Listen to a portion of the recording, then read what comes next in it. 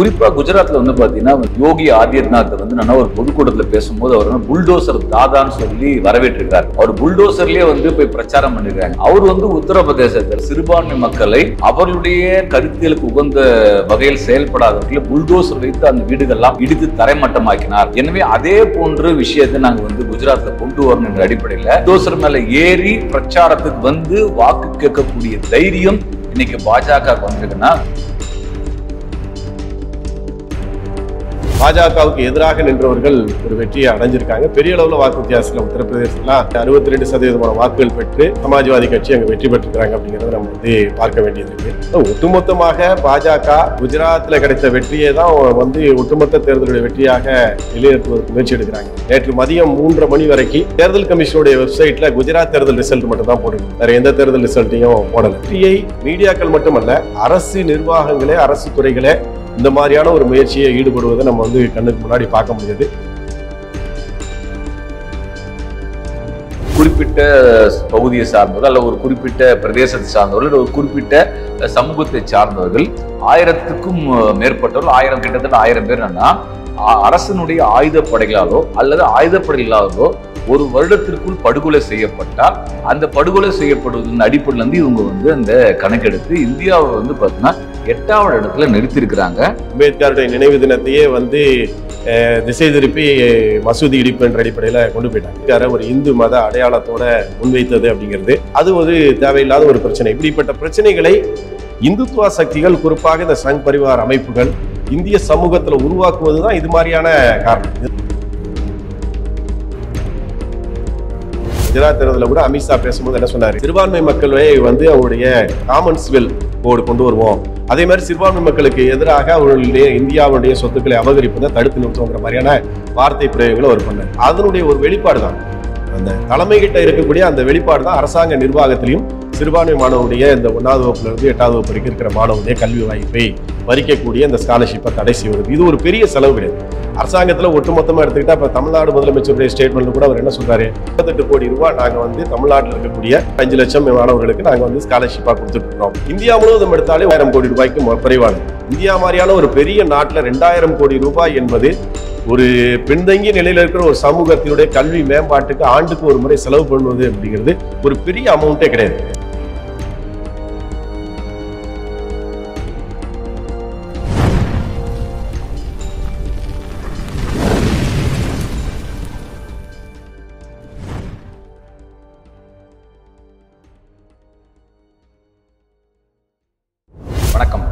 சொல்வது தெளிந்து சொல் நிகழ்வுக்கு அன்போடு வரவேற்கின்றோம். வார வாரம் நடைபெறுகின்ற முக்கியமான அரசியல் நிகழ்வு குறித்து தொடர்ந்து இந்த நிகழ்வில் பேசி வருகின்றோம். இந்த வாரமும் பல்வேறு அரசியல் நிகழ்வு நடந்துள்ளது. அது குறித்த சில முக்கிய அம்சங்களை இந்த நிகழ்வில் விவாதிக்க இருக்கின்றோம் இந்த நிகழ்வில் இணைந்துள்ள தோழர் ராமகிருஷ்ணன் அவர்கள் வணக்கம். தோழர் இப்போ நேற்று தேர்தல் முடிவுகள் வந்து பரபரப்பாக நாடு முழுவதும் பேசியிருக்கின்றது. குஜராத்திலும் இமாச்சல் பிரதேஷ் நடந்த சட்டமன்ற தேர்தல் முடிவுகள் குறித்து ஊடகங்கள் ஒரு பெரிய அளவில் எழுதி கொண்டிருக்கிறார்கள். ஆனால் ஊடகங்கள் பார்த்தீங்கன்னா வந்து குஜராத் தேர்தல் குறித்து எவ்வளோ முக்கியத்துவம் கொடுத்து பேசுகிறார்களோ அதே அளவுக்கு இமாச்சல பிரதேசத்தில் காங்கிரஸ் வெற்றியை குறித்து பேசவில்லை அல்லது ஏதோ போகிற போக்கில் பேசி கொண்டிருக்கிறது நம்ம பார்க்க முடிகிறது. உண்மையிலே இன்றைக்கு குஜராத்தில் பாஜக வந்து மிக அதிகமான இடங்களை பெற்று வெற்றி பெற்றிருப்பது என்பது இந்திய நாட்டில் ஒரு மதச்சார்பின்மைக்காக போராடக்கூடிய இயக்கங்கள் மத நல்லிணக்கத்தை வலியுறுத்தும் நபர்கள்லாம் ரொம்ப முக்கியத்துவம் கொடுத்து பார்க்க வேண்டியிருக்கு என்பதில் வந்து எந்த மாறுபட்ட கருத்தும் இல்லை. ஆனால் இந்த குஜராத் தேர்தல் எப்படி நடந்தது? இமாச்சல பிரதேசத்தில் எந்த விதமான தேர்தல் நடந்தது? அதற்கு முன்னாடி வந்து டெல்லி கார்ப்பரேஷன் தேர்தலுடைய முடிவுகளை நாம் எப்படி பார்க்க வேண்டியிருக்கின்றது? இதே காலகட்டத்தில் சில மாநிலங்களில் இடைத்தேர்தலில் சில தொகுதி நடந்திருக்கின்றது. அந்த தேர்தல் முடிவுகள் இதையெல்லாம் ஒட்டுமொத்தமாக பார்ப்பது தான் வந்து ஒரு சரியான பார்வையாக இருக்கும்னு நான் நினைக்கிறேன். குறிப்பாக குஜராத்தில் வந்து பார்த்தீங்கன்னா வந்து யோகி ஆதித்யநாத்தை வந்து நான் ஒரு பொதுக்கூட்டத்தில் பேசும்போது அவர் வந்து புல்டோசர் தாதான்னு சொல்லி வரவேற்றிருக்காரு. அவர் புல்டோசர்லேயே வந்து போய் பிரச்சாரம் பண்ணியிருக்காங்க காரணம் கேட்டான்னா அவர் வந்து உத்தரப்பிரதேசத்தில் வந்து சிறுபான்மை மக்களை அவர்களுடைய கருத்தியலுக்கு உகந்த வகையில் செயல்படாதவர்களை புல்டோசர் வைத்து அந்த வீடுகள்லாம் இடித்து தரைமட்டமாக்கினார். எனவே அதே போன்ற விஷயத்தை நாங்கள் வந்து குஜராத்தில் கொண்டு வரணும் என்ற அடிப்படையில் புல்டோஸ் மேல புல்டோசர் மேல ஏறி பிரச்சாரத்துக்கு வந்து வாக்கு கேட்கக்கூடிய தைரியம் இன்னைக்கு பாஜக வந்திருக்குன்னா குஜராத் மாநிலம் எந்த அளவுக்கு மக்களை பிளவுபடுத்திருக்கிறது நம்ம பார்க்க முடிகிறது. அதே போன்று நீங்கள் வந்து குஜராத்தில் அந்த உங்களுக்கு தெரியும் மோர்பி பாலத்தில் வந்து பார்த்தீங்கன்னா வந்து நூற்றுக்கணக்கான மக்கள் வந்து படுகொலையாக இருந்தார்கள். அந்த பாலம் வந்து எந்த அளவுக்கு மோசமான முறையில் கட்டமைக்கப்பட்டது அதுக்கான காரணம் என்ன எல்லாமே பேசப்பட்டிருந்தாலும் அந்த தொகுதியில் பாஜக வேட்பாளர் ஒரு அறுதி பெரும்பான்மை வாக்கில் வந்து வெற்றி பெற்றிருக்கிறார். இந்த நிகழ்வு போக்குகளை இந்த பிரச்சார உத்திகளை நீங்கள் எப்படி பார்க்குறீங்க? குஜராத்தை பொறுத்தளவில் அவங்க வந்து தொடர்ந்து இப்போ இல்லை நீண்ட காலமாகவே முஸ்லீம்களுக்கு எதிரான ஒரு வெறுப்பு அரசியலில் தான் அவங்க வந்து அவங்களுடைய வாக்கு வங்கியை தக்க வைத்து கொண்டிருக்காங்க. அதை அதிகப்படுத்தி கொண்டிருக்காங்கிறது தான் நடைமுறையில் நம்ம பார்க்குறோம். அதனுடைய ஒரு வெளிப்பாடு ஒன்று ரெண்டாவது குஜராத்தை சார்ந்தவர்கள் தான் இந்தியா முழுவதுமான வளர்ச்சிக்கு உதவுகிறார்கள் என்ற ஒரு கருத்து நம்மை நம்முடைய மாநிலத்தை சார்ந்த உதவுகிறாங்கிற கருத்தை குஜராத் மாநில அரசியலுக்குள்ள பிஜேபி ஒரு பெரிய பாலிட்டிக்ஸாகவும் பண்ணியிருக்கிறாங்க. இன்னொரு பக்கம் அவங்க வந்து அவங்க வலுவாக இருக்கக்கூடிய மாநிலங்களில் சிறுபான்மை மக்கள் மீதான வெறுப்பு அரசியலில் தான் அவங்க நீங்கள் டெல்லியில் நடந்த தேர்தலில் கூட நம்ம வந்து பார்த்தோம். வெறும் தலைவர்களை முன்னாடி வைத்துக்கொண்டு டெல்லி மாநில பாஜக தலைவர்கள் இவங்க முஸ்லீம்களை விரட்டி அடிப்போம்ன்ற கோஷங்களெல்லாம் முன் வச்சது. அப்படி வந்து குஜராத்தில் இந்த தேர்தலில் அவங்க முழுக்க முழுக்க அப்படிப்பட்ட ஒரு கருத்துக்களை தான் பிரச்சாரம் செய்து பெரும்பான்மை இந்து மக்களுடைய வாக்குகளை கன்சால்டேட் பண்ணுறதுக்கான ஒரு முயற்சி என்பதை அவங்க எடுத்து அதில் ஒரு பெரிய வெற்றி அடைஞ்சிருக்கிறாங்க அப்படிங்கிறது தான் நாம் பார்க்குறோம். பார்க்க வேண்டியது இருக்குது அப்படிங்கிறது தான். அந்த மாதிரியான ஒரு வெறுப்பு அரசியல் அவங்களால வந்து ஹிமாச்சல் பிரதேசத்துலேயோ மற்ற மாநிலங்கள்லையோ போதுமான அளவுக்கு அவங்க வெற்றி அடைய முடியலை அப்படிங்கிறது தான் இமாச்சல பிரதேச தேர்தல் வந்து காட்டுது. இமாச்சல பிரதேசத்தை பொறுத்தவரை ஒருத்தவரை உங்களுக்கு வந்து அந்த அரசாங்கத்தின் மீது இருந்த அதிருப்தி ஒரு காரணமாக இருந்திருக்கலாம். ஆனால் அதையெல்லாம் தாண்டி காங்கிரஸ் ஒரு பெரும் வெற்றியை அந்த மாநிலத்தில் அடைஞ்சிருக்காங்க அப்படிங்கிறது தான் நம்ம வந்து பார்க்குறோம். ஆனால் என்ன அப்படின்னா மீடியாக்கள் மற்றவர்கள் ஏதாவது ஒரு விதத்தில் ஒரு தேர்தல் நடந்தால் அது முழுக்க முழுக்க பாஜகவுக்கு சாதகமாக இருப்பது போன்ற ஒரு கருத்தை முன்வைக்கிறத நம்ம வந்து பார்க்குறோம். அது நடந்து முடிந்த பல்வேறு மாநிலங்களில் நடந்து முடிந்த இடைத்தேர்தல்களில் பாஜக மொத்தத்துக்கு ரெண்டு சீட்டில் தான் ஜெயிச்சிருக்காங்க. அந்த இரண்டு இடத்துல வெற்றி பெற்றதற்கும் சிறுபான்மை வாக்குகள் பிரிந்தது ஒரு காரணமாக அமைந்திருக்கு. பீகாரில் பிஜேபி வெற்றி அடைந்ததற்கு ஓஐசி மாதிரி நபர்கள் அங்கே போட்டி போட்டது. இந்த ரெண்டு பர்சன்டேஜையும் இணைச்சி பார்த்தோம் அப்படின்னா அங்கே வந்து கட்டாயமாக எதிர்க்கட்சியுடைய வேட்பாளர் தான் வெற்றி பெற்றிருக்க முடியும் அப்படிங்கிறது நல்லா தெரியுது. அப்படி தான் மற்ற இடங்கள்லையும் நம்ம பார்க்குறோம். மற்ற மாநிலங்கள் நடந்த தேர்தல்களில் பாஜகவுக்கு எதிராக நின்றவர்கள் ஒரு வெற்றியை அடைஞ்சிருக்காங்க. பெரிய அளவில் வாக்கு வித்தியாசத்தில் உத்தரப்பிரதேசத்துலாம் கிட்டத்தட்ட வந்து அறுபத்தி ரெண்டு சதவீதமான வாக்குகள் பெற்று வந்து சமாஜ்வாதி கட்சி அங்கே வெற்றி பெற்றிருக்கிறாங்க அப்படிங்கிறத நம்ம வந்து பார்க்க வேண்டியது இருக்குது ஒட்டுமொத்தமாக பாஜக குஜராத்தில் கிடைத்த வெற்றியை தான் வந்து ஒட்டுமொத்த தேர்தலுடைய வெற்றியாக நிலைநிறுத்துவதற்கு முயற்சி எடுக்கிறாங்க. நல்ல உதாரணம் என்னென்னா நேற்று மதியம் மூன்றரை மணி வரைக்கும் தேர்தல் கமிஷனுடைய வெப்சைட்டில் குஜராத் தேர்தல் ரிசல்ட் மட்டும்தான் போட்டுருந்தாங்க வேறு எந்த தேர்தல் ரிசல்ட்டையும் போடலை.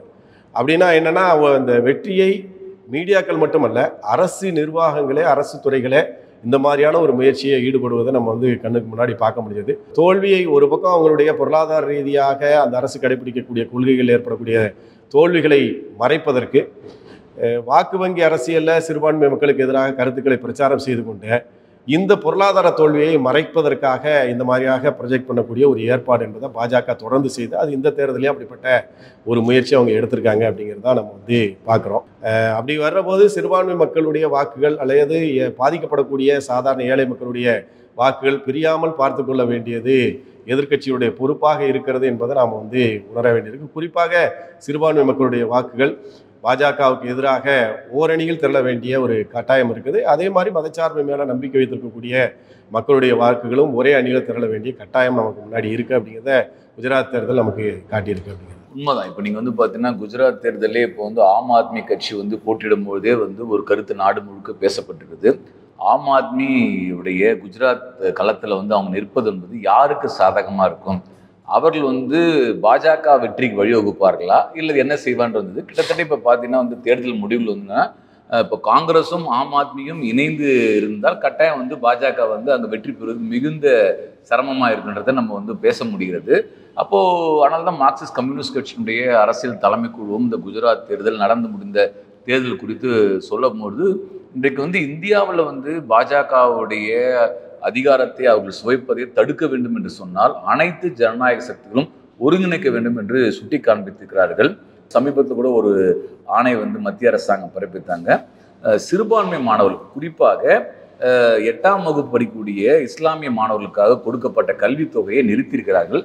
நிறுத்தினது காரணமாக கட்டாய கல்வி சட்டம் வந்து என்னன்னா வந்து எட்டாம் கிளாஸ் வரைக்கும் வந்துன்னா இலவச கல்வி கொடுக்கறதுனால எனவே அவங்களுக்கு வந்து அந்த கல்வி உதவித்தொகை தேவையில்லைன்னு சொல்லிட்டு மத்திய அரசாங்கம் சொல்லியிருக்கின்றது.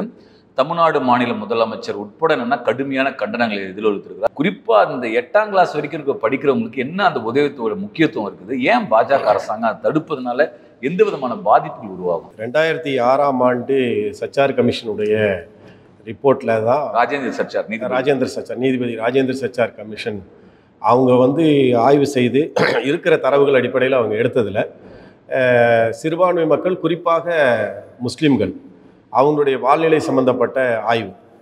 மத்திய அரசாங்கத்திலிருந்து உத்தர யூபிஏ அரசாங்கம் இடதுசாரிகளோடு சேர்ந்து ஆட்சி அமைக்கிற போது முன்வைக்கப்பட்ட குறைந்தபட்ச செயல் திட்டத்தில் சில குறிப்பிட்ட காரணிகளை அவங்க சொல்கிறாங்க கல்வி வேலைவாய்ப்பு மருத்துவம் சுகாதாரம் தலித் மக்கள் சிறுபான்மை மக்கள் ஆதிவாசி மக்கள் இவங்களுடைய பிரச்சனை சம்பந்தமான ஒரு ஆலோசனைகள் அதில் உருவாக்கப்படுது. அவ்வாறு உருவாக்கப்பட்ட ஆலோசனைகளை ஒன்று தான் சிறுபான்மை மக்களுடைய பாதுகாப்பும் வாழ்நிலை மேம்பாடும் அப்படிங்கிறது. குறைந்தபட்ச செயல் திட்டத்தில் இருக்குது அந்த குறைந்தபட்ச செயல் திட்டத்திற்கான அந்த இன்ஃப விவரங்களை சேகரிப்பதற்காக தான் அன்றைக்கு இருந்து யூபிஏ அரசாங்கம் நீதிபர நீதியரசர் ராஜேந்திர சச்சா தலைமையில் ஒரு கமிஷன் அமைக்கிறாங்க. அந்த கமிஷனுடைய ஆய்வில் அவங்க ரொம்ப தெளிவாக சொல்கிறாங்க இந்தியாவில் குறிப்பாக கல்வியில் சிறுபான்மை மக்கள் முஸ்லீம்கள். தாழ்த்தப்பட்ட மக்கள் சில பகுதிகளில் தாழ்த்தப்பட்ட மக்களை விட பின்தங்கிய நிலையில் இருக்காங்க அப்படிங்கிறத அவங்க வந்து சுட்டி காட்டுறாங்க தாழ்த்தப்பட்ட மக்கள் கூட ஒரு குறிப்பிட்ட கட்டத்தில் தொண்ணூறுகளுக்கு பிறகு தாழ்த்தப்பட்ட மக்களுக்கான இந்த ஸ்பெஷல் அலோகேஷன்ஸ் எல்லாம் வந்த பிறகு அவங்களுடைய கல்வி நிலையில் ஒரு பெரிய வளர்ச்சி என்பது இந்த காலத்தில் ஏற்பட்டு அதை ரெஃபர் பண்ணி தான் அவர் என்ன சொல்கிறாருன்னா இந்த நிலைமையில் இருக்கிற சிறுபான்மை மக்களை மேம்படுத்த வேண்டும் என்று சொன்னால் அவருடைய கல்வியில் ஒரு கவனம் செலுத்தணும். இப்போ வந்து சிறுபான்மை மக்களில் ஆரம்ப கல்விக்கு செல்லக்கூடிய வாய்ப்பு இருக்கிறது அறுபத்தஞ்சு சதவீதமான பேர் தான். நாடு முழுக்க. நாடு முழுவதும். கவர்மெண்ட் கிட்ட இருக்கிற இன்ஃபர்மேஷன் அதுதான். அன்னைக்கு ரெண்டாயிரத்தி ஆறில் எடுத்த இன்ஃபர்மேஷன் அதை உயர்த்த வேண்டும் என்று சொன்னால் அதுக்கு வந்து ஒரு பெரிய முயற்சி எடுக்க வேண்டிய தேவை இருக்குது அப்படின்னா இந்த அறுபத்தஞ்சு சதவீதத்திலேயே நான் இந்த இந்த அறுபத்தஞ்சு சதவீதம் ஒரு அறுபத்தஞ்சு பேர் அப்படின்னு எடுத்துக்கிட்டா அதில் நாற்பது பேர் தான் அரசு பள்ளியில் படிக்கிறவங்க இருக்காங்க. மீதம் இருக்கிற இருபத்தஞ்சு சதவீதமான பேர் தனியார் பள்ளியில் படிக்கிறாங்க. அதுதான் அவங்களுக்குடைய வாய்ப்பு. அதில் ஒரு நாலு சதவீதமான பேர் மதர்சால படிக்கிறாங்க. அப்போ இந்த அரசு பள்ளி என்பது வாய்ப்பே வந்து பரவலாக இல்லை. முஸ்லீம்கள் குடியிருக்கிற பகுதியிலங்கிற தகவல்களும் தரவுகளும் இருக்குது இப்போ அந்த அடிப்படையில் தான் என்ன சொல்கிறாங்க அப்படின்னா இந்த இஸ்லாமிய மாணவர்கள் மாணவிகள் கல்வி வளாகத்திற்கு வருவதற்கு தடையாக இருப்பதுங்களுடைய பொருளாதார நிலைமை. அப்போ அவங்க குடும்ப தொழில்களில் குறிப்பாக வந்து அந்த குடிசை தொழில் சார்ந்து இருக்கக்கூடிய அந்த சமூகம் தான் வந்து இஸ்லாமிய சமூகத்தில் ஏழ்மை நிலையில் இருக்குது அப்போ அவங்க கல்வி வளாகத்துக்கு வரணும்னா அதிலிருந்து அவங்களை எடுக்கணும்னா அந்த குடும்பத்துக்கு தேவையான நிதி ஆதாரத்தை யாராவது கொடுக்கணும். அரசு கொடுக்கணுங்கிற கட்டாயம் வருது. அப்போ அந்த அடிப்படையில் தான் ஒட்டுமொத்த கல்வி செலவு அது அந்த fees tuition fees special fees போக மாதம் வந்து ஒரு ரூபாய் ஒரு நூறுரூபா ஒன்றாவது வகுப்புலேருந்து அஞ்சாவது வகுப்பு இருக்குது. அஞ்சாவது வகுப்புக்கு மேலே இருக்கிற மாணவர்களுக்கு அது வந்து முந்நூற்றம்பதுலேருந்து அறநூற்றம்பது ரூபா ஹாஸ்டலில் படித்தா அறநூற்றம்பது ரூபான்ற அடிப்படையில் அந்த உதவி என்பது வழங்கப்படுது. இது வழங்கப்பட்டதன் மூலமாக ஒரு பெரிய எண்ணிக்கை ஒரு ஜங்க் இந்த மாணவர்கள் கல்வி வளாகத்திற்கு வருவதற்கான வாய்ப்பு என்பது ரெண்டாயிரத்தி ஆறுக்கு மேல. ரெண்டாயிரத்தி ஆறு ரெண்டாயிரத்தி ஒன்பது தான் இது இம்ப்ளிமெண்ட் ஆகுது. எப்போ? ரெண்டாயிரத்தி ஒன்பதுல. ஒன்பது. அதாவது ரெண்டாவது பீரியட் யூபிஏ வருவதற்கு முன்னால் இது இம்ப்ளிமெண்ட் ஆகுறாங்க. அதுக்கு பிறகு ஏற்பட்டிருக்கிற வளர்ச்சி- வளர்ச்சியில எப்படி வந்து நைன்டிஸ்க்கு பிறகு தலித்துடைய கல்வி வாய்ப்புல ஒரு முன்னேற்றம் ஏற்படுதோ அப்படிப்பட்ட ஒரு முன்னேற்றம் இதில் ஏற்பட்டிருக்கு. இப்போ அதை அடுத்தடுத்த கட்டத்துக்கு கொண்டு செல்ல வேண்டும் என்பதுதான் கடந்த கால ஆட்சியாளர்கள்ட்ட இருந்த ஒரு அம்சமாக இருந்தது. இப்போ இந்த பிஜேபி முஸ்லீம்களுக்கு எதிரான ஒரு வெறுப்பு அரசியல் வெறுப்பு கருத்துக்களை பேசி வருவதனுடைய ஒரு விளைவு தான் நீங்கள் குஜராத் தேர்தலில் கூட நம்ம முன்னாடி பேசணும். குஜராத் தேர்தலில் கூட அமித்ஷா பேசும்போது என்ன சொன்னார்? சிறுபான்மை மக்களை வந்து அவங்களுடைய அந்த காமன்ஸ்வெல் கோடு கொண்டு வருவோம். அதே மாதிரி சிறுபான்மை மக்களுக்கு எதிராக அவர்களுடைய இந்தியாவுடைய சொத்துக்களை அபகரிப்பதை தடுத்து நிறுத்துவோங்கிற மாதிரியான வார்த்தை பிரயோகங்களை அவர் பண்ணார். அதனுடைய ஒரு வெளிப்பாடு தான் அந்த தலைமைகிட்ட இருக்கக்கூடிய அந்த வெளிப்பாடு தான் அரசாங்க நிர்வாகத்திலையும் சிறுபான்மை மாணவருடைய இந்த ஒன்றாவது வகுப்புலேருந்து எட்டாவது வகுப்பு வரைக்கும் இருக்கிற மாணவருடைய கல்வி வாய்ப்பை பறிக்கக்கூடிய இந்த ஸ்காலர்ஷிப்பை தடை செய்வது. இது ஒரு பெரிய செலவு கிடையாது. அரசாங்கத்தில் ஒட்டுமொத்தமாக எடுத்துக்கிட்டால் இப்போ தமிழ்நாடு முதலமைச்சருடைய ஸ்டேட்மெண்ட்டில் கூட அவர் என்ன சொல்கிறாரு ஒரு எண்பத்தெட்டு லட்சம் எண்பத்தெட்டு கோடி ரூபா நாங்கள் வந்து தமிழ்நாட்டில் இருக்கக்கூடிய நாலரை லட்சம் மாணவர்களுக்கு அஞ்சு லட்சம். கிட்டத்தட்ட ஒரு அஞ்சு லட்சம் மாணவர்களுக்கு நாங்கள் வந்து ஸ்காலர்ஷிப்பாக கொடுத்துட்ருக்குறோம். இந்தியா முழுவதும் எடுத்தாலே ஒட்டுமொத்தமாக அது ரெண்டாயிரம் கோடி ரூபாய்க்கு குறைவானது. இந்தியா மாதிரியான ஒரு பெரிய நாட்டில் ரெண்டாயிரம் கோடி ரூபாய் என்பது ஒரு பின்தங்கிய நிலையில் இருக்கிற ஒரு சமூகத்தினுடைய கல்வி மேம்பாட்டுக்கு ஆண்டுக்கு ஒரு முறை செலவு பண்ணுவது அப்படிங்கிறது ஒரு பெரிய அமௌண்ட்டே கிடையாது. ஸோ அது இந்தியாவுடைய ஒட்டுமொத்த வளர்ச்சியோடு சம்பந்தப்பட்டது என்ற பார்வைக்கு பதிலாக அதை ஒரு மத ரீதியாக தன்னுடைய எதிர் அரசியலுக்கு பயன்படுத்துவது என்பதை பாஜக இப்போ வந்து கடைபிடிக்குதுங்கிறது ஒன்று ரெண்டாவது அவங்க சொல்லக்கூடிய இந்த புதிய கல்வி திட்டத்தில் வந்து அனைவருக்கும் கல்வி உரிமை சட்டத்தில் கல்வி வந்து அனைவருக்கும் கட்டாயம் என்பது பதினாலு வயது வரைக்கும் கு- குழந்தைகளுக்கு நான்கு வயதுலேருந்து பதினாறு வயது வரை பதினாலு வயது வரைக்கும் குழந்தைகளுக்கு கல்வி ச- வந்து கட்டாயமாக கல்வி படிக்க வைக்கணுங்கிற சட்டம் இருக்கு. அது எங்கேயும் இலவசமாக அமலாகல. இந்தியா முழுவதுமே வந்து அரசு பள்ளிகள் வாய்ப்பு என்பதே வந்து அறுபது சதவீதமானது கூட கிடையாது. நாற்பது சதவீதத்திற்கும் மேற்பட்ட மாணவர்களுக்கு தனியார் கல்வி நிலையங்களை நோக்கி தான் போகணும். அப்போ தனியார் கல்வி நிலையங்களை நோக்கி போக வேண்டிய கட்டாயம் வந்து சிறுபான்மை மக்களுக்கு இருக்குது அதே ஸ்டாட்டிஸ்டிக்ஸில் இப்போ நிறைய ஆய்வுகள் வந்திருக்கு. சிறுபான்மை மக்கள் வாழக்கூடிய பகுதியில் ஒரு கிலோமீட்டர் ரேடியஸ்க்குள்ள ஏற்பாடு என்பது இல்லாத பகுதி நாற்பது சதவீதம். இந்தியாவில் வந்து ட்ரைபல்ஸ் கூட இப்போ வந்து அந்த நிலைமை இல்லை. ட்ரைபல்ஸ் கூட இந்த பர்சன்டேஜ் என்பது இருபது சதவீதம் தான். ஒரு ஆதிவாசி மக்கள் குடியிருக்கிற பகுதிகளில் இருபது சதவீதமான பகுதிகளில் தான் ஒரு கிலோமீட்டருக்குள்ளே பள்ளி இல்லைங்கிற நிலமை இருக்குது ஆனால் இன்றைக்கும் இந்தியாவில் சிறுபான்மை மக்கள் அதிகமாக வசிக்கக்கூடிய பகுதிகளில் ஒரு கிலோமீட்டர் சுற்றளவுக்குள்ள கல்வி வாய்ப்பு இல்லாத ஆரம்ப கல்வி வாய்ப்பு இல்லாத நிலைமை என்பது கிட்டத்தட்ட நாற்பது சதவீதம் என்ற நிலைமையில் இருக்குது அப்போ இவங்களுக்கு இதிலெல்லாம் ஒரு மேம்பாடு வரணும் அப்படின்னா அதில் ஒரு பெரிய மாற்றம் வரணும். இதை வந்து கல்வி உரிமை சட்டத்தோடு இணைப்பது அப்படிங்கிறது ரொம்ப தவறானது. கல்வி உரிமை சட்டம் என்பது நூறு சதவீதம் இலவச கல்வியை சுட்டி காட்டலைங்கிறத நம்ம வந்து வெளி உலக மக்களுக்கு கொண்டு செல்ல வேண்டிய கட்டாயம் என்பது. அதுவும் எஜுகேஷன் ஃபார் ஆளுங்கிறது தான் வந்து இருக்கே தவிர ஃப்ரீ எஜுகேஷனுங்கிறது அது எந்த கட்டத்திலையும் அது வந்து முன்வைக்கவில்லை. அது ஒரு தவறான கருத்தை அரசாங்கம் வந்து முன்வைக்கிறது. இதுக்கு எதிரான ஒரு கருத்து பிரச்சாரத்தை அனைத்து பகுதி மக்களுடைய வளர்ச்சி தான் இன்க்ளூசிவ் வளர்ச்சி தான் இந்தியாவுடைய வளர்ச்சி என்ற ஒரு கருத்தை நாம் வந்து முன்வைக்க வேண்டிய தேவை என்பது இருக்குது அப்படிங்கிறதுல தான் நம்ம வந்து இந்த கருத்துக்களை ரொம்ப முக்கியமான விஷயம் நீங்கள் பேசுனது. இது ஏதோ ஒரு அடிப்படை கட்டமைப்பு இல்லாத ஒரு மாநிலங்கள் இருக்கக்கூடிய ஒரு இந்தியாவில் இப்படி வந்து ஒரு குரூர புத்தியோடு வந்து ஒரு நாட்டினுடைய அரசாங்கம் சொந்த நாட்டு மக்களே வந்து ஒரு குழி தோண்டி புதைக்கக்கூடிய வகையில் வந்து நடவடிக்கை எடுப்பது வந்து ஒரு வன்மையான கண்டனத்துக்குரியது மட்டுமல்ல ஒட்டுமொத்த மக்கள் வந்து எதிர்ப்பு அவசியம் தேவைப்படுகிறது. இப்போ சமீபத்தில் அமெரிக்காவிலிருந்து செயல்படக்கூடிய ஒரு அமைப்பு வந்து ஒரு ஆய்வறிக்கை வெளியிட்டிருக்காங்க. அந்த ஆய்வறிக்கையில் வந்து பார்த்தீங்கன்னா வந்து வெகுஜன படுகொலைகள் நடக்கக்கூடிய ஆபத்து நடக்கக்கூடிய ஒரு நாடுகள் வந்து பட்டியல் எடுத்திருக்காங்க. அந்த பட்டியலில் வந்து பார்த்தீங்கன்னா வந்து நூற்றி அறுபத்தி ரெண்டு நாடுகள் பட்டியல் எடுத்ததில் இந்தியாவிற்கு ஒரு எட்டாவது இடம் இருக்குது என்பதை வந்து சுட்டி காட்டுறாங்க இப்போ அவங்க அதில் அந்த ஆய்வினுடைய வரையறை எப்படி பண்ணுறாங்கன்னா ஒரு ஒரு குறிப்பிட்ட பகுதியை சார்ந்தவர்கள் அல்ல ஒரு குறிப்பிட்ட பிரதேசத்தை சார்ந்தவர்கள் இல்லை ஒரு குறிப்பிட்ட சமூகத்தை சார்ந்தவர்கள் ஆயிரத்துக்கும் மேற்பட்டவர்கள் ஆயிரம் கிட்டத்தட்ட ஆயிரம் பேர் என்னன்னா அரசினுடைய ஆயுதப்படைகளாலோ அல்லது ஆயுதப்படைகளாலோ ஒரு வருடத்திற்குள் படுகொலை செய்யப்பட்டால் அந்த படுகொலை செய்யப்படுவதன் அடிப்படையிலேருந்து இவங்க வந்து அந்த கணக்கெடுத்து இந்தியாவை வந்து பார்த்தீங்கன்னா எட்டாவது இடத்துல நிறுத்தியிருக்கிறாங்க. கிட்டத்தட்ட வந்து பார்த்தீங்கன்னா இது வந்து ஒரு ஜனநாயகத்தினுடைய ஜனநாயகம் கோலோச்சக்கூடியதாக சொல்லப்படக்கூடிய இந்தியா வந்து வெகுஜன படுகொலைகள் நடைபெறுவதற்கான பட்டியல் வந்து ஒரு எட்டாவது இடம் வந்திருப்பதாக ஒரு சர்வதேச நிறுவனம் வந்து வரையறுத்திருப்பது என்பது மிகவும் அதிர்ச்சியூட்டத்தக்க வகையில் அமைந்திருக்கின்றது. இதற்கான காரணங்கள் என்னவா இருக்கும் நினைக்கிறேன் காரணம் இந்தியாவில் இருக்கக்கூடிய சிறுபான்மை மக்கள் எதிர்ப்புணர்வு அப்படிங்கிறது ஒன்று ரெண்டாவது ஆதிவாசி மக்கள் தலித் மக்கள் மேலே உருவாக்கப்படக்கூடிய கருத்தாக்கம். அவங்களுடைய மத்திய ஆட்சி பொறுப்பில் இருக்கக்கூடிய ஒரு வலுவான அரசாங்கத்தை கையில் வைத்திருக்கக்கூடியவர்கள் கடைபிடிக்கக்கூடிய இந்த வெறுப்பு அரசியல் எல்லா விதத்திலையும். அது வந்து சிறுபான்மை மக்கள் மட்டும் இல்லை சிறுபான்மை மக்கள்ங்கிறது பரவலாக இன்றைக்கி தேசம் முழுவதும் இருக்கிறது.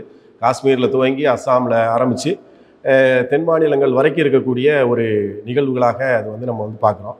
இன்னொரு பக்கம் ஆதிவாசி மக்கள் மேலான தாக்குதல்கள். அது கருத்து ரீதியாக அவங்க மேலே நடத்தக்கூடிய தாக்குதல்கள் அதை ஒட்டி வரக்கூடிய எழுச்சி சின்ன சின்ன காரணிகளை கூட அவங்க வந்து ப அவங்களுக்கு சாதகமாக பயன்படுறீங்க இப்போ சமீபத்தில் நம்ம வந்து தமிழ்நாட்டில் அம்பேத்கருடைய பிறந்த தினம் அம்பேத்கருடைய நினைவு தினத்தையே வந்து திசை திருப்பி மசூதி இடிப்பு என்ற அடிப்படையில் கொண்டு போயிட்டாங்க. அன்றைக்கு அதை வந்து இந்தி தமிழ்நாட்டில் கும்பகோணம் மாதிரியான பகுதிகளில் அம்பேத்கர் படத்தில் வந்து அம்பேத்கரை ஒரு இந்து மத அடையாளத்தோட முன்வைத்தது அப்படிங்கிறது. அது ஒரு தேவையில்லாத ஒரு பிரச்சனை. இப்படிப்பட்ட பிரச்சனைகளை இந்துத்துவ சக்திகள் குறிப்பாக இந்த சங் பரிவார் அமைப்புகள் இந்திய சமூகத்தில் உருவாக்குவது தான் இது மாதிரியான காரணம். இது ஒன்றும் ஆயுதந்தாங்கிய ஆயுத அரசுக்கு எதிராக போராடக்கூடிய ஆயுதம் வைத்து ஆயுதம் இல்லாமல் போராடக்கூடியவங்கள சம்மந்தப்பட்ட விஷயம் இல்லை இது திட்டமிட்டு சங் பரிவார் அமைப்புகளால் இந்தியாவை ஒரு அமைதியற்ற ஒரு சூழ்நிலையில் உருவாக்குவதுடைய ஒரு விளைவு தான் இந்த இது நீங்கள் பாகிஸ்தான் ஃபஸ்ட்டு அப்படின்னா பாகிஸ்தானுக்கு சம இடத்துல நம்ம இருக்கிறோம். பெரிய எண்ணிக்கை டிஃப்ரென்ஸ் கிடையாது. அதுக்கு சமமாக தான் இங்கே வந்து நிகழ்வுகள் என்பது நடக்குது. இன்னொரு பக்கம் இந்தியாவில் பல மாநிலங்களில் பல ஜாதிய இன பிரச்சனைகளை அவங்க உருவாக்கிட்டு இருக்காங்க. குறிப்பாக வட மாநிலங்களில் ஒரு ஐந்து மாநிலத்தில் இருக்கக்கூடிய குர்மி சீனம் மக்களை ஒன்று திரட்டி ஒரு குர்மி மாநிலம் வேண்டும் என்ற ஒரு கோரிக்கை வட மாநிலங்களில் ரொம்ப பரபரப்பாக இப்போ ஒரு டிஸ்கஷன் ஆகிட்டு இருக்கு இதுக்கு பின்னாடி யார் இருக்கிறா என்னங்கிறத நம்ம வந்து கவனிக்க வேண்டியது. இப்படிப்பட்ட ஒரு போக்குகள் என்பதை இந்தியாவில் வளர்த்து விடுவதில் இன்னைக்கு அரசாங்கத்தில் இருக்கக்கூடிய இந்த இந்துத்துவ சக்திகளுக்கு ஒரு பிரதானமான காரணம் இருப்பது என்பது இந்தியா இந்த அளவிற்கு ஒரு ஒரு அமைதியற்ற ஒரு தேசமாக உலகத்துக்கு காட்டுவதற்கு காரணமாக இருக்கிறது அப்படிங்கிறது தான். இதில் இருந்து மீண்டு வருவதற்கு மக்கள் மக்கள் ஒற்றுமை என்பதை முன்வைத்து தான் நம்ம வந்து களமாட வேண்டிய தேவை இருக்குது நம்முடைய ஜனநாயக சக்தி எல்லாம் கடுமையாக எதிர்ப்பு செய்திருக்கார்கள் சென்னையில் கூட இந்திய ஜனநாயக வாலிபர் சங்கத்தின் சார்பாக காவல்துறை ஆணையரிடம் வந்து இந்த நடவடிக்கை எடுக்க கோரி வந்து புகார் அளிக்கப்பட்டிருக்கின்றது. உண்மையிலேயே நீங்கள் சொல்லக்கூடிய விஷயங்கள்லாம் ஒட்டுமொத்தமாக தொகுத்து பார்க்கும்போது இந்தியாவில் வந்து என்னென்னா தொடர்ந்து ஆர்எஸ்எஸ் இயக்கம் சிறுபான்மை குறிப்பாக இஸ்லாமியர்களே வந்து வை- எதிர்நிலையில் வைத்து ஒரு அரசியல் வந்து என்னன்னா ஒரு நூற்றாண்டு காலமாக செய்து கொண்டிருக்கிறார்கள். அந்த பகுதி மக்களுக்கு நம்பிக்கை அளிக்கக்கூடிய வகையிலும் இந்தியாவினுடைய ஒட்டுமொத்த உழைக்கும் மக்களுடைய நலனை முன்னிறுத்தியும் செயல்பட வேண்டிய தேவையை வந்து நீங்கள் சரியாகவே சுட்டி காண்பித்தீர்கள் இதே காலகட்டத்தில் தான் இந்தியாவில் வந்து பார்த்தீங்கன்னா பல்வேறு அமைப்புகள் தங்களுடைய மாநாடுகள் நடத்தியிருக்கின்றார்கள். சமீபத்தில் வந்து பார்த்தீங்கன்னா பீகார் மாநிலத்தில் ஒரு முக்கியமான ஒரு மாநாடு நடந்திருக்கின்றது. தலித் ஒடுக்குமுறை விடுதலை முன்னணி. நம்முடைய தமிழ்நாடு தீண்டாமை ஒழிப்பு முன்னணி எல்லாம் இணைந்து அதனுடைய அமைப்பாக இருக்கிறார்கள். ஒரு இடதுசாரி இயக்கத்தின் சார்பாக ஒரு நாடு தழுவிய அளவில் வந்து ஒரு ஒருங்கிணைக்கப்பட்ட மாநாடு வட இந்தியாவினுடைய பீகார் மாநிலத்தில் நடைபெற்றிருக்கிறது மூன்றாவது அகில இந்த மாநாடு. அதில் வந்து ந- ஏற்கொண்டு நிறைவேற்றப்பட்ட தீர்மானம் முக்கியமானது என்னன்னா இந்த சப் பிளான் வந்து என்னன்னா நீங்கள் வந்து முழுமையாக அமுல்படுத்தணும். அதற்கென்று தனியாக சட்டம் இயற்றணும் சுட்டி காண்பிக்கிறார்கள் நாடு முழுக்க தலித் மக்கள் மீது எந்த அளவுக்கு வந்துன்னா வந்து கொடூரமான ஒடுக்குமுறைகள் ஏவப்படுகிறது என்பதை வந்து சுட்டி காண்பித்து இதிலிருந்து விடுதலை பெறுவதற்கான ஒரு ஒரு பெரும் மிகப்பெரிய ஜனநாயக போராட்டத்தை நடத்துவதற்காக அந்த மாநாடு வந்து அறைகூவி அழைத்திருக்கின்றது. இப்போ தலித் மக்கள் மீதான ஒடுக்குமுறை தொடர்ந்த காலகட்டத்தில் அதிகமாயிட்டே இருக்கு. குறிவைத்து தலித் மக்கள் மீதான தாக்குதல் வந்து நடந்து கொண்டே இருக்கிறது அதிகரித்து கொண்டே இருக்கிறது. இதை நீங்க எப்படி பாக்குறீங்க அது இன்றைக்கு ஆட்சி பொறுப்பில் இருக்கக்கூடிய இந்துத்துவ சக்திகள் அவங்க கடைபிடிக்கக்கூடிய அந்த ஜாதிய கட்டுமானம். ஜாதிய கட்டுமானத்தில் இருந்து அவர்கள் இந்த விஷயங்களை அப்ரோச் பண்ணுறதுடைய விளைவு தான் எப்படி வந்து சிறுபான்மை மக்களை எதிர்நிலையில் வச்சு பார்க்குறாங்களோ அது மாதிரி அவங்கள பொறுத்தளவில் வந்து பிரதானமாக தாழ்த்தப்பட்ட மக்களை ஆதிவாசி மக்களை ஒரு எதிர்நிலையில் வைத்து பார்க்கக்கூடிய நடைமுறை தான் அவங்ககிட்ட இருக்குது ஆனால் வெளி தோற்றத்திற்கு அவர்கள் ஒரு பொதுவாக ஜனநாயகவாதிகளை போல அல்லது எல்லோரையும் விட மேம்பட்ட அளவில் சர்வே சேவை செய்பவர்களை போல ஆதிவாசி மக்கள் மத்தியில் தாழ்த்தப்பட்ட மக்கள் மத்தியில் ஒரு வேஷம் போடுற ஒரு இல்ல. குஜராத்ல கூட பாத்தீங்கன்னா நீங்க வந்து ஆதிவாசி மக்கள் இருக்க பகுதியெல்லாம் வாக்கே வாங்கியிருக்கிறாங்க. எப்படி இந்த இந்த அட்டூழியத்தை செய்து கொண்டே அவங்கள வாக்கு பெற முடிகிறது? அதுதான் அவங்களுடைய மிகப்பெரிய டாக்டிஸ் ஒரிசாலேருந்து வெற்றி பெற்று வந்திருக்கிற ஆதிவாசி இனத்தினுடைய அந்த பாராளுமன்ற உறுப்பினர். அவர் தான் ஸ்டெயின் சாமியாரை வந்து படுகொலைக்கு காரணமாக இருந்தார். அதே மாதிரி குஜராத் கலவரத்தில் முன்னாடி நின்று கலவரம் செய்தவர்கள் முழுக்க வந்து தாழ்த்தப்பட்ட மக்கள் அல்லது ஆதிவாசி மக்கள். குறிப்பாக அருந்ததி மக்கள் இந்த நம்ம தமிழ்நாட்டு அருந்ததின்னு சொல்லக்கூடிய மக்கள் தான் ஆயுதம் தாங்கியிருந்த படங்கள் தான் நம்ம எல்லாருமே பார்த்தோம். இந்த எளிய மக்களை அவர்கள் சில உதவிகள் மூலமாக வென்றடைவது என்பது அவருடைய டாக்டிஸில் ஒன்று ஸோ அந்த அடிப்படையில் தான் அன்றைக்கி வந்து தங்களுக்கான ஒரு உதவி செய்யக்கூடிய ஒரு அமைப்பு என்ற அடிப்படையில் தான் வந்து பாஜக ஆளக்கூடிய மாநிலங்களில் தாழ்த்தப்பட்ட மக்கள் ஆதிவாசி மக்கள் இந்த மாதிரியான ஒரு நிலை எடுக்கிற நிலைமை இருக்குது இவங்க மத்தியில் யாராவது விழிப்புணர்வு ஏற்படுத்தி செய்வதற்கு முயற்சி எடுத்தால் அது நீங்கள் நீங்கள் ஸ்டான் சாமியாக இருக்கலாம் அல்லது நாம் இன்றைக்கி சிறைச்சாலையில் இருக்கக்கூடிய பதினைந்துக்கும் மேற்பட்ட அறிஞர் பெருமக்களாக இருக்கலாம். இவங்கெல்லாம் வந்து இதை விழிப்படைய செய்வதற்கு முயற்சி எடுத்தாங்கிறது தான் பாஜகவுடைய இந்த சதி செயல்களில் இருந்து ஆதிவாசி மக்களை தாழ்த்தப்பட்ட மக்களை விழிப்படைய செய்வதற்கு முயற்சி எடுத்தார்கள் என்ற அடிப்படையில் தான் அவங்க மேலே வந்து தேச துரோக வழக்கு பதிவு செய்யப்பட்டு சிறைச்சாலையில் அடக்கி வச்சிருப்பாங்க நம்ம வந்து பார்க்க வேண்டியது இருக்குது இப்போ அந்த மக்களை விழிப்படைய செய்ய வேண்டிய பொறுப்பு எல்லோருக்கும் இருக்குது அப்படிங்கிறத நம்ம வந்து பார்க்கணும். உண்மைதான் நீங்கள் சொன்னது. இப்போ வந்து பார்த்தீங்கன்னா சமீபத்தில் வந்து நம்முடைய ரெண்டு நாட்கள் முன்னாடி இந்தியாவில் வந்து அகில இந்திய விவசாய சங்கத்தினுடைய அகில இந்திய மாநாடு வந்து பார்த்தீங்கன்னா கேரள மாநிலத்தில் நடக்க இருக்கின்றது. அந்த மாநாட்டிற்கு எடுத்து செல்லக்கூடிய ஒரு ஜோதி பயணம் வந்து நம்முடைய தமிழகத்தினுடைய வெண்மணி கிராமத்திலிருந்து நடைபெற்றிருக்குது.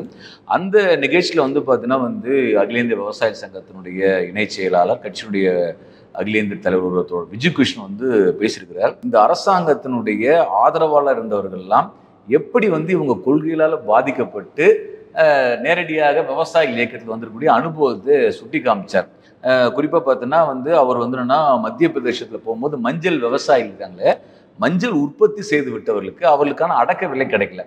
அவங்க வீட்டில் அங்கே வந்து போராட்டம் நடத்துகிறாங்க துப்பாக்கி சூடு நடக்கின்றது. வீடுகளுக்கு போய் பார்த்தால் இவர்களுடைய பாஜக தலைவருடைய படம் இருக்கின்றது. ஆனால் அந்த மக்கள் வந்து பார்த்தீங்கன்னா வந்து அவங்களோட சொந்த அனுபவத்திலிருந்து இந்த அரசாங்கத்தின் கொள்கை என்னை பாதிக்குது என்பதற்காக வெளியே வந்து செங்கோடி பிடித்து விவசாய இயக்கங்களோடு போராடிய அந்த போராட்ட அனுபவங்கள் எல்லாம் தொகுத்து வந்து தோழர் விஜயகிருஷ்ணன் வந்து பேசுறதை நம்ம பார்க்க முடிகிறது. இது போன்று இந்தியா முழுக்க இருக்கக்கூடிய உழைக்கின்ற மக்கள் வந்துன்னா அவர்கள் வந்து இந்த அதிகாரத்தில் இருக்கிறவர்களால் வந்து பொருளாதார ரீதியாக சாதி ரீதியாக ஒடுக்குமுறைக்கு உள்ளாக்கும் போது அந்த பகுதி மக்களை வந்து என்னன்னா அமைப்பு ரீதியாக திரட்ட வேண்டியதுதான் இன்னைக்கு நம்ம முன்னாடி இருக்கக்கூடிய முக்கிய ஒரு கடமையாக இருக்கின்றது. அந்த வகையில் இந்த மாதம் முழுக்க வந்து பார்த்தீங்கன்னா வந்து இந்தியாவில் வந்து பல்வேறு வெகுஜன அமைப்புகளுடைய அகில இந்திய மாநாடு நடப்பதை நம்ம பார்க்க முடிகிறது. திருச்சூரில் அகில இந்திய விவசாய சங்க மாநாடு நடக்க இருக்கின்றது. இப்போ மதுரையில் வந்து பார்த்தீங்கன்னா அங்கன்வாடி ஊழியர்களுடைய ஒரு அகில இந்திய மாநாடு வந்து நடந்திருக்கின்றது. ஒரு நம்ம தமிழ்நாட்டை சொல்லக்கூடிய சத்துணவு ஊழியர்கள் போன்றவர்கள் அவர்கள் வந்து என்னன்னா நாடு முழுக்க இருக்கக்கூடிய தொழிலாளர்கள் வந்து சிஐடியின் பேரால் ஒருங்கிணைக்கப்பட்டு ஒரு அகில இந்திய மாநாடு ஒரு ஏராளமான பெண்கள் வந்து இந்த காலகட்டத்தில் லட்சக்கணக்கான பெண்கள் மத்திய அரசாங்கத்தை ஒரு முற்றுகையிட்டு கோரிக்கையை வென்றெடுக்கக்கூடிய வகையில் ஆஷா ஒர்க்கர்ஸ் எனக்கூடிய அங்கன்வாடி ஊழியர்கள் மாறியிருக்கிறார்கள். அதே போன்று இந்திய மாணவர் சங்கத்தினுடைய அகில இந்திய மாநாடு வந்து ஆந்திராவில் நடக்கிருக்கின்றது. இந்திய ஜனநாயக வாலிபர் சங்கத்தினுடைய மாநாடு நடக்கின்றது. இப்படி நாடு முழுக்க வந்து உழைக்கும் மக்கள் இந்த வெகுஜன அமைப்புகளுடைய மாநாடு நடப்பது என்பது உண்மையிலே நீங்கள் சொன்னது போலன்னா சிறுபான்மை மக்கள் தலித் மக்கள் ஆதிவாசி மக்கள் மீதான ஒடுக்குமுறை ஏவி இந்த கார்ப்பரேட் கொள்கையை அமுலாக்க துடித்து கொண்டிருக்கக்கூடிய பாசிச பாஜகவுக்கு எதிராக ஒரு நாடு தழுவிய அளவில் வந்து ஒரு ஒருங்கிணைப்பை அரசியல் ரீதியான கண்ணோட்டத்தை உயர்த்துவதற்கு இந்த மாநாடுகள்லாம் வழிவகுக்கும். அந்த வகையில் வந்து நம்ம நம்பிக்கையோடு முன்னேறுவோம். நன்றி வணக்கம். நன்றி.